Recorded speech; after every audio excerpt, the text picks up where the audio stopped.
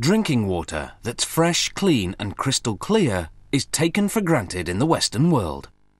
We might not give it a second thought, but between the source and our tap, water has to be transformed. Big time.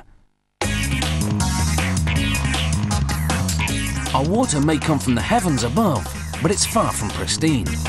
It starts its journey to the treatment plant through a pipe in a reservoir. Within this housing, about two metres down, is a 15 centimetre hole. Covering that hole is a metal grill designed to keep out large debris, such as tree branches. The water flows to the pumping station, where it goes through a preliminary screening. A giant revolving screen removes fish, garbage and grass.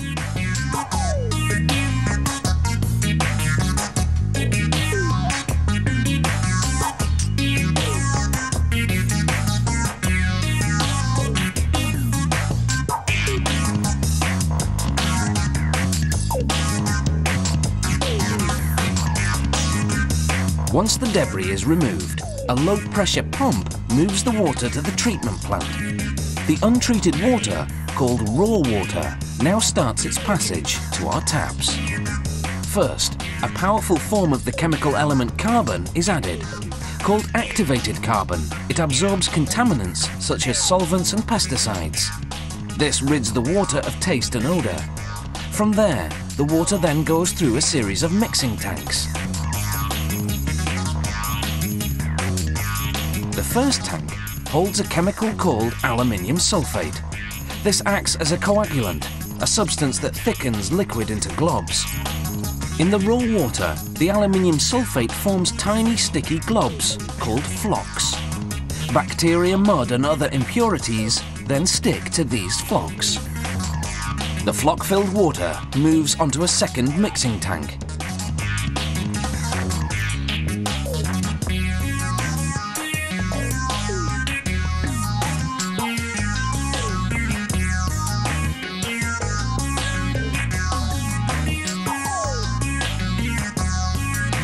The second tank holds a chemical called polymer, which is essential to the next step of the process, called sedimentation.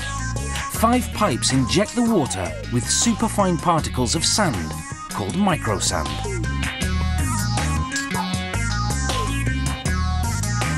The polymer coats the sand, making it sticky. The grains of sand then stick to the flocks in the raw water, weighing them down even more.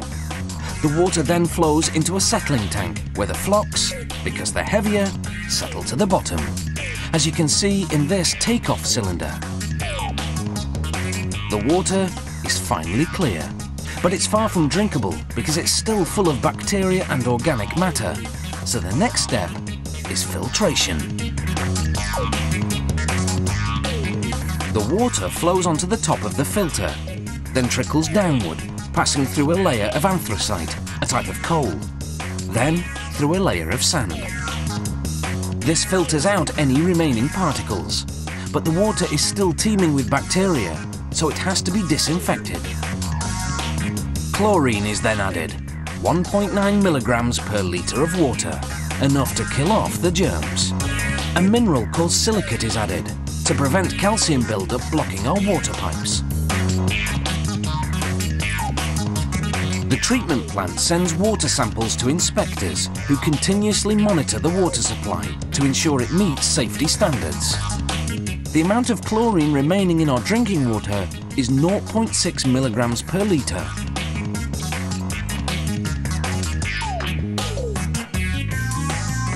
The chlorine gas the plant uses is highly toxic. Should any leak out, emergency teams would have to evacuate a 10 kilometre radius so the plant stores the drums of chlorine in a high security area.